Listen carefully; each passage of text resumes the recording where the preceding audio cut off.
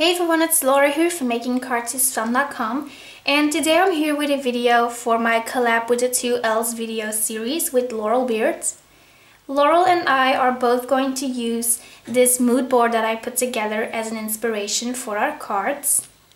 Going to start out with a piece of white Neenah cardstock and the Fabulous Flamingo stamp set from Reverse Confetti. I think this stamp set is just simply awesome. So I'm going to mount those stamps on an acrylic block and then I'm going to use the Flamingo ink from Studio Calico. I thought that this ink would be simply perfect for this stamp set since it's called Flamingo. So I'm just stamping those images onto my white cardstock and then I'm going to use the coordinating die cuts uh, from the Fabulous Flamingo stamp set. Going to attach that die cut onto my paper using some washi tape and then I can easily run it through my Big Shot machine. So after I die cut those flamingos, I'm going to stamp the beaks of them using Memento Tuxedo Black ink.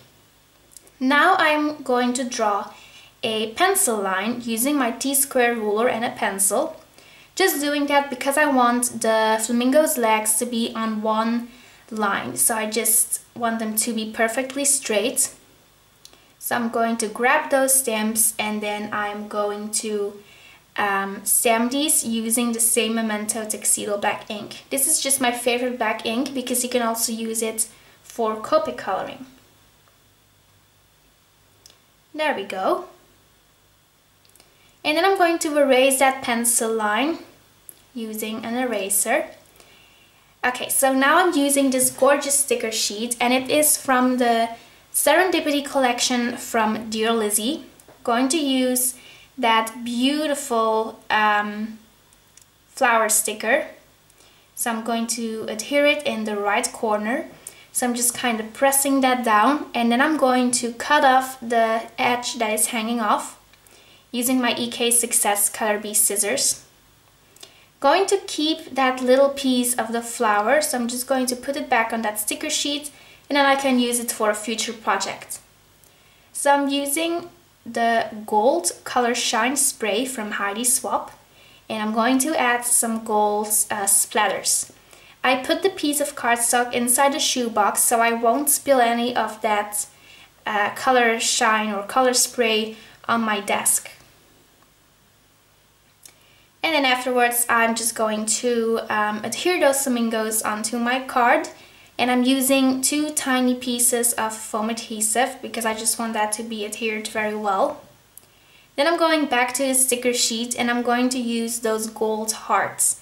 You could uh, you could just stamp some hearts and use some golden golden embossing powder. Um, but since I just had the sticker sheet on my desk, I thought I would use these pretty hearts and they also match the gold color shine perfectly. So I'm just kind of positioning them and then I'm going to stamp some XOs on my card using the Milo's ABC stamp set from Lawn Fawn. The mood board had like cookies um, in an XO shape so that kind of kind of inspired me um, to stamp those XOs on my card and again I am using Memento Tuxedo Black ink. So I'm just stamping that three times and then I'm going to stamp the sentiments. This greeting is also from the Fabulous Flamingo stamp set from Reverse Confetti. And it says happy birthday. So I just thought that was kind of funny uh, with the flamingo birds. So I'm also stamping that using again Memento Tuxedo Black ink. There we go. Then I just kind of, I was just kind of figuring out which pattern paper to use. And then I just went with this gorgeous yellow striped piece of pattern paper. It is also from the Serendipity collection from Dear Lizzy. And I'm cutting that to the same size as my cards. So this also measures uh, four and a quarter of an inch by five and a half. And I'm using my Fiskars Sure-Cut to cut that out. Now I'm going to adhere it onto the card using my Tombow Mono adhesive. And then I'm just going to adhere it on there. So now I'm going to be using quite a lot of foam adhesive to adhere that piece onto the card. And I'm especially going to add quite a few of foam squares behind the flamingos because these are quite heavy so they need quite a lot of support. So after I peel off the backer sheets, I'm just going to adhere it onto my card and I'm also going to be adhering some Pretty Pink Posh sequins. These are the 4mm Sparkling Clear and Aquamarine sequins.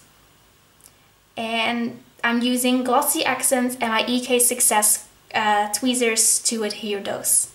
So that finishes up the card. Thank you so much for watching and be sure to visit my blog for many more details. Thanks for watching. Bye!